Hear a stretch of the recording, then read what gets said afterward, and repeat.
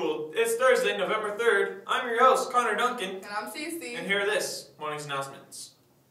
Tomorrow's our big varsity football game against our rival, Paloma Valley High School. This should be a great game. You do not want to miss it. Kickoff is at 7 p.m. Yes, everyone needs to be there. Also, the Thanksgiving food drive is going on right now. So bring in those canned goods and non-perishable items to contribute and help everyone have a happy Thanksgiving.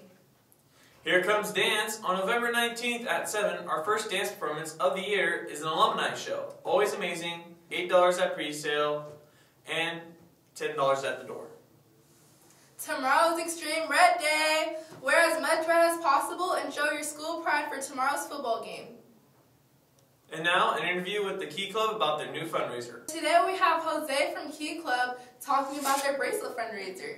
Now, Jose, what uh, what are the bracelets, and tell me more about it. Okay, so the bracelets are made from Kenyan women, their mothers, and they make these to earn a wage. And so each specific bracelet goes to a certain cause in Kenya.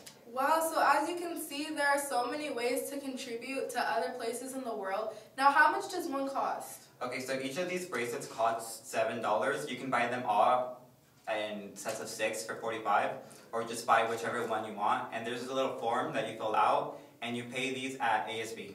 See, the prices aren't even that bad. It's an amazing way to help other places and also have a good moral sense and know you did something great. Now, is there anything else you wanted to say about the bracelets? No. All right, guys. That's it. Jose from Key Club, buy a bracelet and go to ASB. Thank you, and we'll see you next time. We also have an update on our from our interview team. Let's see how they're doing.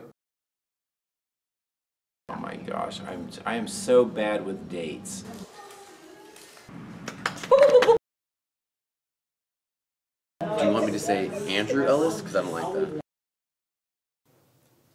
Well, that's all we have time for today. We'll see you tomorrow with a lot more good information. Have a great Heritage Day. Stay classy, Heritage.